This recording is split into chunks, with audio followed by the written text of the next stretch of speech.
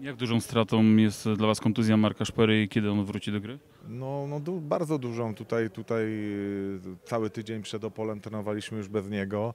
E, W jakiś tam sposób się mm, nie udało się go zastąpić, bo, bo nie mamy e, prawo rozgrywającego leworęcznego, ale tutaj na tej pozycji grał Kamil Adamski, i grał Łukasz Gerak i Mikołaj Przybylski, więc, więc tutaj udało się w jakiś sposób to, to zniwelować tą stratę, chociaż jest to bardzo ciężko i zarówno w obronie i w ataku Marek był wartością dodaną do tego zespołu i teraz na razie będziemy musieli się bez niego, bez niego e, potykać z innymi drużynami. Nie wiem jeszcze jak długo będzie trwała jego przerwa. No, na razie jest, jesteśmy tydzień, ponad tydzień bez niego. Mam nadzieję, że będzie to jak najkrócej.